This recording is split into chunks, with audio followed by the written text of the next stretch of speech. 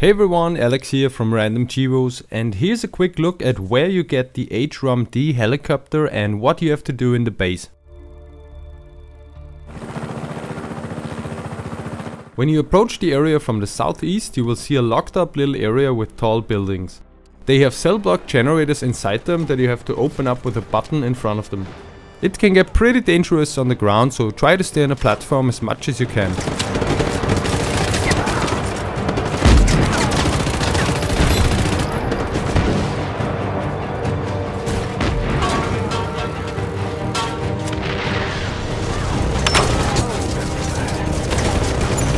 Next up is the pool area, which has a lot of little destructibles that are mostly in plain sight. You can hop in one of the tanks that attack you and easily take out a huge portion of your targets. You should be able to survive for a while since there are not many enemies with rocket launchers around. Switching to the military corvette boat is also a good option. You will move extremely slow but the powerful cannon can take out the bigger targets in a second. Once you cleared out the last few destructible objects, you are given the HROM-D helicopter.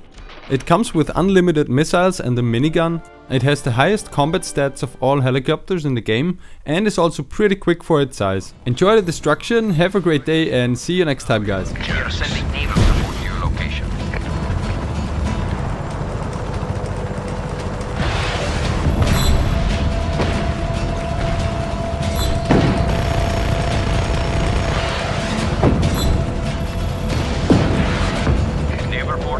Inbound to provide additional support.